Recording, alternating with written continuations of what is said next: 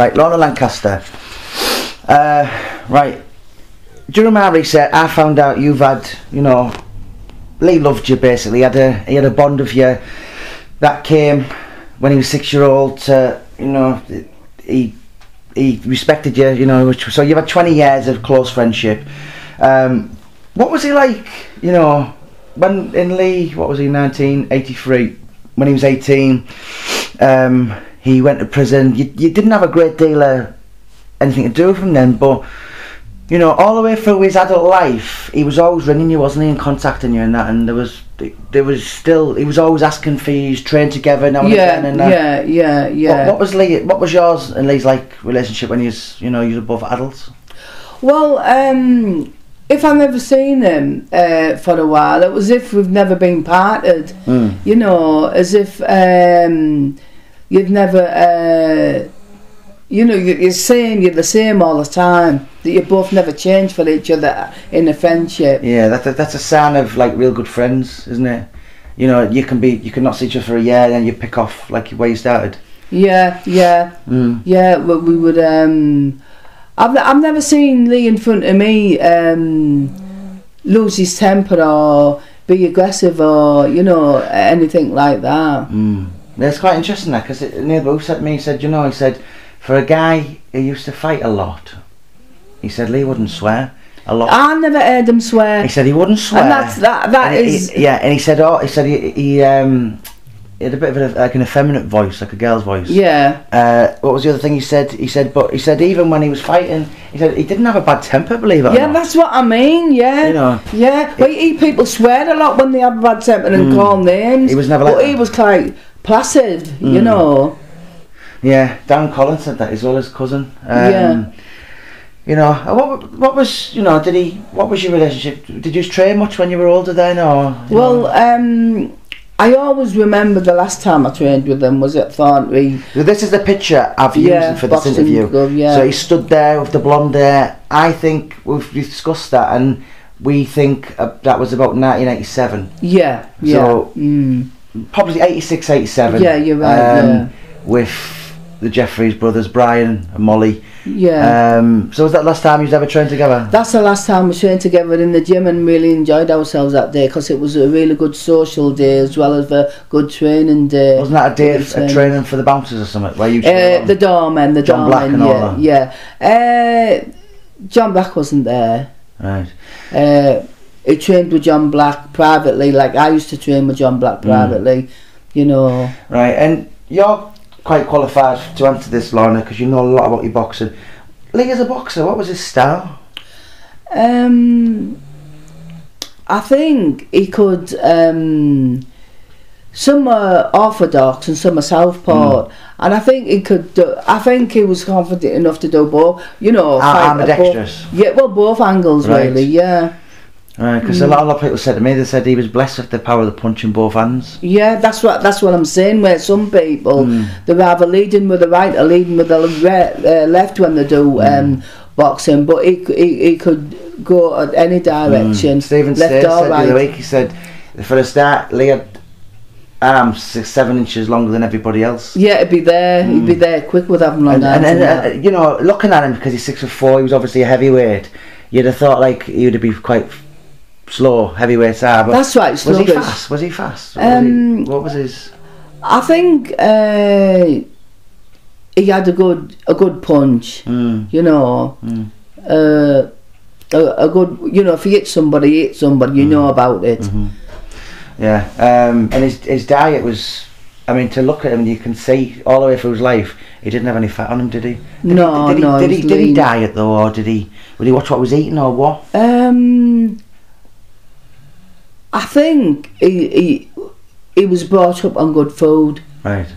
You know, he was Mm. brought up with you know a good a good meal, meat and veg. Mhm. You know, so probably that's what he, you know, he he, he ate. Mm. You know, Mm. a good a good nice meal. Yeah, and you know, you've told me a few stories, Lorna. Um, I mean, know we're going to be, you know, we we probably will save a few for the documentary. But you know, he had a funny sense of humour, Lee, didn't he? And Oh, yeah. Didn't he? Didn't he? Wasn't he thought it was hilarious when you and Ducko were going to fight one night, and then he was. Oh, we did have a fight, me and Ducko, one night. I What? went into Masters and Brenda was at the door because she always collected the money. Mm. And um, I was like, look, wondering if Lee was in, but Lee Mm. wasn't in that day. And I didn't know Ducko this time. And um Ducko touched my friend's bum and she Mm. said, will you tell him to stop touching my bum? So I just asked him to stop touching her bum. Mm. And he tried to throw me out and he couldn't move me. Mm. Then he attacked me so I threw him on the floor. Then I walked out and he shot punches and I blocked them. And then um, he walked back in and back out again and he shook my hand Mm. and gave me a kiss on the cheek and apologised. Yeah. he? Lee thought it was hilarious. Lee thought it was a. That's what they were all talking about. Right. When we come out, Lee said they've been talking about you. They said nothing bad, has he? He said no. They were all laughing because they said that he he met his match. He? Didn't he say yeah? You you fought uh, harder than some of the men he's fought with. Pardon? Didn't he say that you were tougher than some of yeah, yeah, yeah. He did actually. Yeah, Mm. he did after the fight. Yeah, he did. Yeah, Yeah. but um, The yeah. people I spoke, you know, like Barry Fulton and all, like, uh, uh, you know, people with a bit of sense have said sometimes I try and sit down with Lee and try and talk. St- I mean, surely you're capable of. You were, Lee would have listened to you more than anyone. Did you ever sit him down at times in his life, Lorna, and say, Lee, maybe you just need to calm down a little bit? And did you ever do anything like that? no, because um, He wasn't serious, was he? No, no we, um, we were all right together and things like that. But because he was um, uh, finding himself out as himself, Mm. you know, I didn't really uh, have a serious um, talk with him about about about his, about his life at all, really, because I Mm. didn't ever wanted to think um, that I'd be judging him anyway. I heard stories about him, Mm. But I'm always a great believer. What kind of stories? At this time, Mm. right, you were very much, you know, a born again Christian, and Lee knew that, didn't he? And he respected yeah, it. yeah, yeah, he did, yeah. You know, so when you say you'd heard stories, it, it was a common, common knowledge what Lee was up to in the town with Yeah, the blues and yeah, all that. So yeah. you, this got back to you. Oh yeah, yeah, it was. But I mean, um, I'm a great believer that what people do in their private life is between them, them, them and God. Mm. You know, and I wouldn't say things what he did in his private life in that area unless they wanted to speak to me about it, and they Mm. opened up about it. Mm. Yeah. You never ever did though. No, no, no. Right. And um He did. He did. Brenda did tell me that he was going to come to my house when he got shot to stay with me. that was the second time. Yeah. Shot the second time. Yeah, and asked if asked his mum if I think that I would have him, and and uh, Brenda said, yeah, I I Mm. would have had him. Yeah, I'd have, would have him stay at my house. That just because he needed to get out of Middlesbrough, didn't Yeah, yeah, you're right. He likes living in different places and Mm. wandering about. But uh, if if it had come, um, we would have had that time of a, a serious Mm. chat, and you know, we'd have had that time to um, think about his life and where he was going. And maybe he never had that chance of many Mm. friends who we could really talk to about them areas. Mm. You know, it's um. I know. Well, obviously, I've done a lot of research, but that's definitely hundred percent true. That when three weeks before Lee died, he went to see a vicar, didn't he, in South Bank? Yeah, he went to see a, a minister. Brenda told me, Mm. and uh, he he always knew that I that I was a Christian. I wrote Mm. something in his school book about it, Mm. and uh, maybe he looked at it and he thought about it when he was going through a bad time. Mm. And um, Brenda showed me the letter of the minister, and the minister said in the letter that um, this man Lee is is a kind and nice man, Mm. and I do see uh, good things about this about this man. So I, he might have had a serious They talk. had a, they had a, a um, see, Graham Siege told me that, you know, I've kind of, they had a, a chat for an hour and a half mm, um, inside, it was in a church, Yeah. and, you know, so that's what he's observed in Lee is, you know, but then again, it doesn't time with the, the media does it, the, he's not allowed to be this human, he's not allowed to be this 26 year old lad who's making mistakes, because he's a figure of evil to people, but, you know, reality is, he, he was a young lad, wasn't he? And Oh yeah, was it? Yeah, yeah. He, he was a he was a young lad, but I think sometimes young young lads that joke and laugh and put a big shield up and they keep themselves busy but when the time when they're on their own they start Mhm. thinking seriously Yeah. and maybe he was looking for someone where he wanted to have that serious talk to you know Mm. to um, try and sort his out, life out because it might have been getting too Yeah. much for him Yeah, I think that's definitely you know been the case. I've sat and spoke to people. You know, I'm not going to certainly Mm, won't yeah. be naming them, but uh, it, they've they've said that's that's the way he was heading. You know, some people have laughed in front of me and said uh, said he wasn't. He was going to you know be like this all the time. But you know, he. It, when everyone's out to kill you left, right, and centre, it must have just been horrible. Yeah it's like a target you're a target to people it sounds to me Lee has always been a target Lee was a target when you met Yeah. him, right? Yeah, when he was, was, six, when he was six year old, Mm. you met the kid who was a target to yeah, the it was a 12, target, 13 year olds, yeah, right? to people And then 20 years fast forward, he was a target yeah to- yeah for everybody out to get him. yeah So, you know, it's that it makes people think, doesn't it? You know, he was this, you know, is it a target. Is- You know, the many things, Lorna, that um, when Lee was let out on bail, he was he was on bail for the threat to kill for Islam goal, for Peter Wilson's broken neck, Mm. for breaking David Tappan's jaw. I think there was one or one or two. Well, there never again will that ever happen where, you know, and it, you know, Vince Agar's interview for the new book has said, well, we're Cleveland Police. You know, I mean, maybe it might be controversial, so I have to word it carefully. But you know, in his opinion, they've just pop, popped him on the street and painted a target on his head again. You know, and obviously we know what happened. It was inevitable he was going to be killed. Um, we we were talking earlier, and I th- I think now you know I mean my friend Graham Seed, big hero man, you know we've had chats me and Graham and you before we were on record, and he said if Lee was here now, fifty three year old, fifty four in June this year, could you imagine if he'd have turned the corner? You might have, yeah he had bullet holes in his knees and in his feet. But could you imagine that story of him going in prison saying lads? I used to be the baddest of all baddest, but I've turned my life around now. Could you imagine what he could have done, the message he could have delivered to people? he Well, could have done uh, wonders, couldn't he? Yeah, well, well, I know people like Lee, and I know a person that was in the triads. Mm. I know people in Christian magazines that have been a criminal, that have been the top man, and a lot of them have give their life to God and changed because they were at that time they wanted to be. Mm. They've hit the brick wall, and they've realised that they needed to change. hmm It is. It's a crying shame, isn't it? It is. You know, I know she get quite emotional now, and um, you know, this is all. It's been nearly thirty years now, Lorna, and it's almost like people are just like, "Wow, hang on a minute, I never heard this side." You know, and it's it's almost you know, if I can get a couple of people, that you know, I didn't know him, so I'm not, I'm not, you know, I'm not pro Lee Duffy, I'm not anti Lee Duffy, I'm just doing this as like almost a journalist, if you like, being an author, and um, you know, it's certainly that's just what happened, wasn't it? Just that's how it, you know, people would like to portray him as this guy who was the Terminator who who didn't feel pain and you know went and tax knocked him out and that and you know, but you've you've got a you've got a, a human being in here, haven't you?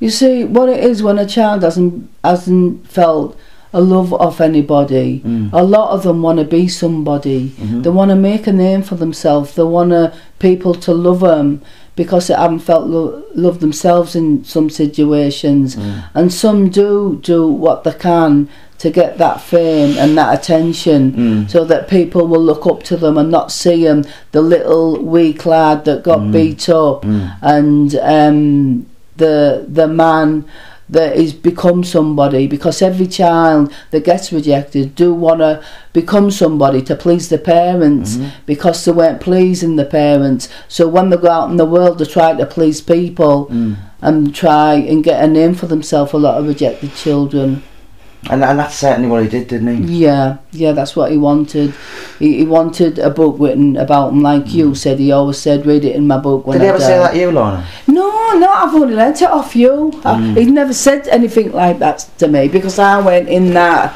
You know, I went out with them. With Mm. you know, what he was out with the lads, and um, he, he was saying this. It sounded to me that he must have thought that he weren't going to live when he gets old, he must have had it in his Mm. head and in his thoughts Mm. that he was going to die with the life that he was living. Mm. So he was saying that to say that maybe one day they'll write a book about Mm. me, and Oh, obviously you, come, absolutely. That's- you that's- come along. Yeah. And Lee wanted someone to write a Mm. book about him, you know, and like you want to see people look at this book or look at this film and say, look at there's other Lees out there. Yeah. Hmm And no, when he got older, he decided to be the man he wanted to be. Mhm. But men like him can change, you know. You know, I mean, that's come. You know, Neil Neil Booth was very close to Lee. Yeah, He certainly had no part in anything I've ever done projects wise. yeah, Um, but Lee, you know, Neil's a good a good friend of mine, and he said, well, he said he used to say that all the time. He said you can put this in the book when I'm gone. You know, other one or two other people I won't name. yeah, Um, but we're incredibly close to Lee. yeah. He said he said it all the time. It's one of his, you know, things that he, and uh, you know, it's. I think, you know, not everyone gets what I'm doing. Um, we've we've had chats, Lon, and you know, I think you do. We've spoke off the camera, um, and you you thought it needed to be done, didn't you? You, I think you acknowledged that I'm doing this in the right way. Well, you, why I think it's good what you're doing is that when they read about Lee that he was beat up and abused, people out there need to look at people that this has happened to and they need to take interest in them or people that are likely and they need to help them and they need to support them and they need to realise that there's a lot of Lee Duffys out there that was a child that felt rejected by friends and that was um, a bit of a loner. I felt he was a bit of a loner. Yeah, that's been that's been des- described Yeah, so many times. Yeah, he might have had friends and he might have um, had different friends, Mm. but inside he had a look of being alone in his situations. Mm. Yeah, and uh, you know, it's people like, oh, well, that wasn't right, that wasn't right. You know, some of the some of the facts have come of, you know, come from the next door neighbour. They've lived there 55 years. 20 of them were next door to Lee Duffy. hmm So you know, I'm sure they'd know. And you know, it's I think it's commonly known now that Lee he didn't like being at home at times, did he? You know, kind of. Um, It was an awkward one. It's you know, growing up in the 70s is a lot different to being in the 21st yeah, century, right. isn't it? Yeah, yeah, yeah, yeah. Um, I think um, Lee wanted to find um, people that he could relate to and associate with, and when you find them friends that uh, like like like himself, then he would feel at home and comfortable with. Mm. That he wasn't the only one that was going through the same thing that he was going through. hmm Yeah, you know, uh, one of his friends said to me, he said, uh, he said, you, t- you know, he had the image. He said, you, you know, you heard the stories, and then you walk around the car and you seen Lee looking the way he did. He said, but if some people went up the way to take it, to take the time to get to know him, he said that's all they needed to do. Yeah, that's right. I mean, um, you see, the thing with a lot of men that they don't. That's why there's a lot of percentage. I mean, I don't want to get into a person's situation here, but there's a lot of percentage men commit suicide Mhm. because they don't open up to people. Mm. Where women would talk about things, a lot of men hold things in. Yeah, because you know, Lee Duffy had the, the macho image. He didn't go in with his image, but you know, as you you've said, we've discussed things that that did get spoken behind closed doors. Lee was, you know, I'm sick everywhere I go. People are trying to kill me. You know, that is it's still young shoulders, isn't it? Yeah, it's um, it's like a, a fugitive life. It's like um, I think Lee should have moved out the area altogether and started all over again, like a lot of lot of people do Mm. that have been in that sort of life. And some people have done that and not even give them the names of the address. He'd have been better off doing something like that. Mm. He'd have survived better if he had a new new new area, new people. yeah, I mean, he, wa- he was offered all that with the Sayers. They they were like, they, Oh, loved, that's good. they loved him. You know. yeah, that'd have been. Uh, you know, Stephen says, nice, lovely guy, good sense of humour, and he's going to be the foreword for this Yeah. book. And he said, yeah. You know, he said when he, he come up to Newcastle, Yeah. when he was, you know, he needed to escape out of Middlesbrough, he, Yeah, he only ever stayed there a couple of weeks because he wanted to get back because, you know, he wanted to get back. yeah, he, he loved Middlesbrough, he was passionate about Middlesbrough, Um, you know, but ideally, looking back in hindsight, it probably was it was the worst thing he could have ever done, wasn't it?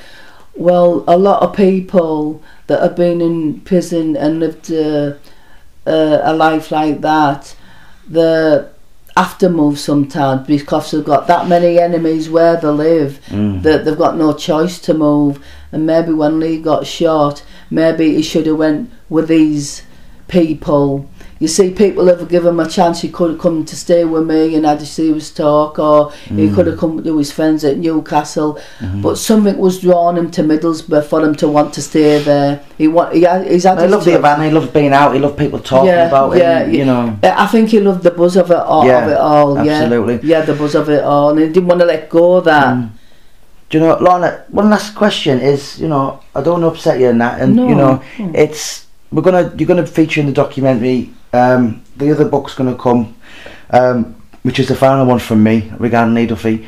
Um, but if you could look back, how how do you remember Lee? Do you you know do you, what what's your first? Do you remember him as the man, or do you, did you first thought that little boy you used to cuddle, used to cl- Carry on carry, my shoulders. you know, like yeah, a yeah, like carry- a like a, yeah, like a monkey carrying its little. Yeah, I, I remember. I remember um, a joyful, happy, always smiling. Mm.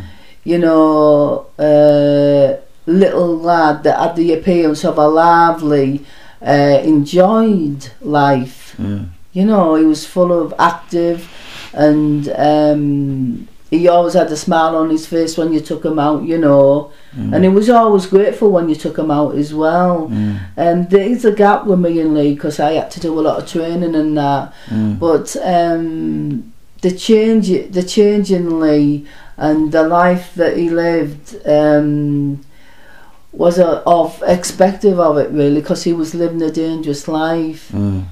you know. And people keep saying to me, if you live by the sword, you you die by the sword.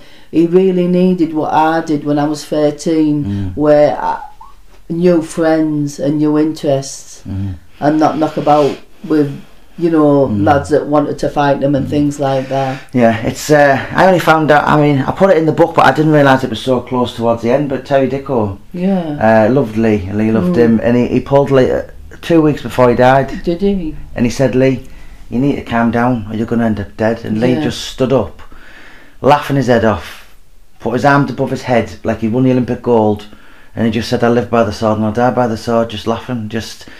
Two weeks later, he was dead. You know, but he Mm. said that's he said that's how I remember him. mm. You know, but um, was there anything you wanted to add to that before I turn it off? Anything you wanted to just?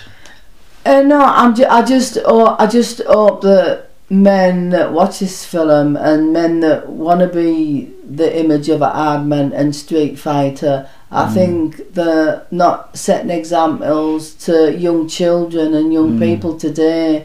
Um, I read a book where Lee was in. I don't know the author was in, but in this book it was all people that were fighters like Lee. Mm. And in this book, every fighter they Mhm. showed the gravestone right. in every chapter, and Mm. it's and it's pretty sad, you know Yeah. that that Lee's ended like that. But there's a lot of Lees out there that are still Absolutely. living You that know, life, It's, it's he. There's no point being there. Especially when they've got children. Mm. They've got to start thinking of the children. Is this the sort of life you want to give your Mm. image to children? Violence and fighting and Mm. want to live in that area. If you've got a son, would Yeah. you like him to be the image of you? Mm. You know. Yeah. I mean, he, he was. He's without shadow of a doubt the hardest in the cemetery, isn't he? Yeah, as a street in, in the street fighter, uh, I think he would he, he would have been one of the hardest street fighters. But Mm. like I said to him when he was six year old, I would rather him not be a street fighter. If Mm. it had been a boxer Mm. in the Olympics or did sport Mm. for fighting, I'd rather he did that than the life that he that he Mm. lived. Yeah. Um, well, thanks. Thanks for your time, Lorna. What I'm going to do is we're going to get recording in a couple of weeks. So you know, as far as I'm concerned, I don't think there's anyone who could who could really judge Lee's childhood like you could because you've seen it all. You know, and um, you know, it'll be your your chance to to get it out there and just tell people your side. And he, he was a like he was very likable, wasn't he? Yeah, I'd love I'd love it to speak to younger lads though that like to be the it man or like to be the hard man. I love them to try and to learn from Lee, you Mm. know. Yeah, it's Yeah. um yeah, I mean imagine that the the message he, if he'd have been here now in his early fifties it would have been absolutely staggering. It would have been, wouldn't it? Could you this guy who's did all this, it was as bad to the core, but he's turned his life round. Well, when I got first got converted, people around England wanted me to give my testimony. Mm. and how I, how I used to do street fighting as a teenager and how I changed and become judo and boxer player and give that up. And I seen the difference in my life. Mm.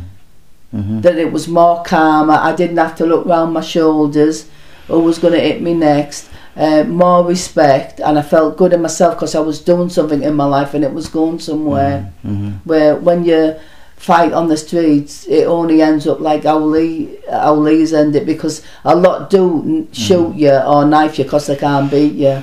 Oh, yeah, and I'm, I'm going to ask you this before turning tape. Is Yeah. you're very spirit, spiritual, Lorna. Mm, Have you ever felt anything last couple of years, kind of anything that you know that people have come back to you, or What do you mean, sorry? have you ever felt anything like spirits around you? You know, kind of people. Well, um,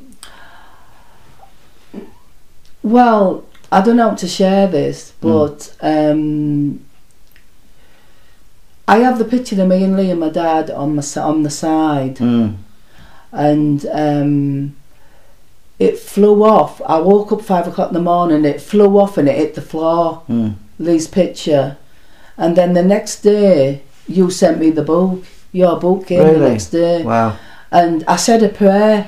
I thought, is there some sort, you know, because you do Mm. every house you go in hmm when people go into, um, you know, the dead. I'm, I'm Mm. not a believer that I'm a believer of Jesus, but I know people do hmm that some weird things do happen Mm.